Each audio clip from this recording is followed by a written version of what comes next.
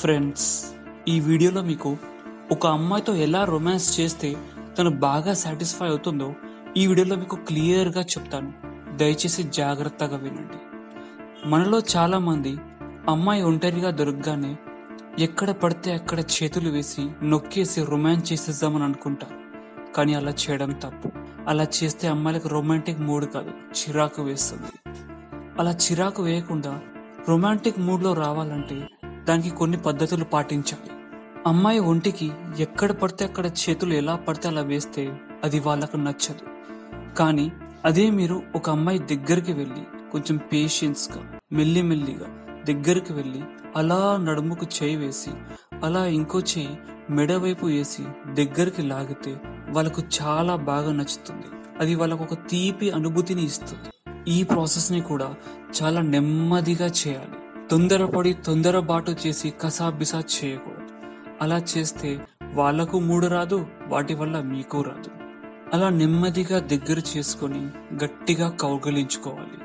అలా గట్టిగా కౌగిలించుకున్న తర్వాత వాళ్ళకు ఆటోమేటిక్గా స్టార్ట్ అయిపోతుంది. దానిని మీరు అడ్వాంటేజ్గా తీసుకొని అప్పుడు మీరు చేయి నడుము మీద వేయొచ్చు ఇంకెక్కడైనా వేయొచ్చు. అప్పుడు వాళ్ళు ఒప్పుకుంటారు. అది ఎప్పుడు వాళ్ళకు మంచిగా అనిపిస్తుంది.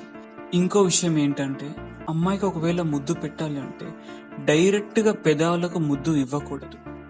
ఒకవేళ మీరు డైరెక్ట్గా పెదవాళ్ళకు ముద్దిస్తే అది వాళ్ళకు నచ్చదు. సో దానికన్నా ముందు వాళ్ళ నడుము మీద చెయ్యేసి వాళ్ళకు దగ్గరికి లాగి ఫస్ట్ బుగ్గ మీద తర్వాత మెడ మీద తర్వాత ఫోర్ హెడ్ మీద ఆ తర్వాత పెదవుల మీద ముద్దిస్తే వాళ్ళకు చాలా నచ్చుతుంది. వాటితో వాళ్ళు కూడా రొమాంటిక్గా ఫీల్ అవుతారు మిమ్మల్ని కూడా ఇంకా రొమాంటిక్గా ఫీల్ చేస్తారు. యూత్ బాగా ఎక్సైటింగ్గా ఉంటారు. అఫ్ కోర్స్ చాలా మంది గర్ల్ ఫ్రెండ్ ఉన్నా కూడా వాళ్ళు సరిగా సాటిస్ఫై చేయలేరు. ఎందుకంటే వాళ్ళు ఏదైనా తడాబడా చేయాలి ఫాస్ట్ ఫాస్ట్గా అని అనుకుంటారు. కానీ ఫాస్ట్ ఫాస్ట్గా చేస్తే వచ్చేది మూడు కాదు బ్రో చిరాకు. సో ఏ పనినైనా మొదట్లో మెల్లిగా మొదలుపెట్టి ఆ తర్వాత స్పీడ్ను పెంచుకుంటూ వెళ్ళాలి. అలా చేస్తే మీకు రొమాన్స్తో పాటు శోభనం కూడా జరిగిపోతుంది. సో ఫ్రెండ్స్ ఈ మాట మీరు బాగా గుర్తుపెట్టుకోండి. రొమాన్స్ చేసినా లేదా శోభనం చేసినా స్టార్టింగ్లో మీరు కసాబిసా ఫాస్ట్గా చేయకూడదు. దేనినైనా మెల్లిగా మొదలుపెట్టి ఆ తర్వాత స్పీడ్ను పెంచుకుంటూ వెళ్ళాలి.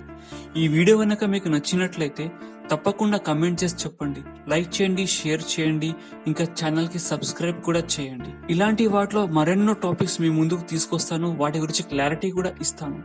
అంతవరకు సెలవు గుడ్ బై.